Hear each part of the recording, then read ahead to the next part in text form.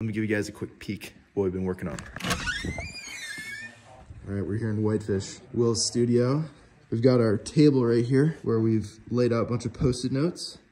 This is kind of our timeline for our story. It's kind of a mess, but it will make sense in the long run. I'm working mobily, so we're using books and old laptops to stack my laptop. We got the wood stove, which is keeping us warm.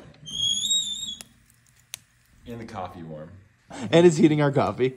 So right now we're kind of working on the final stages of our sorting process here. We kind of laid everything out into separate timelines. We're building out our individual scenes for the film. We're just trying to tighten it up right now. We have tons and tons of footage that we're dealing with and we're kind of trying to slim it down, slim it down and pick up those key points in the film that we want to focus in on. It's finally starting to come together, man.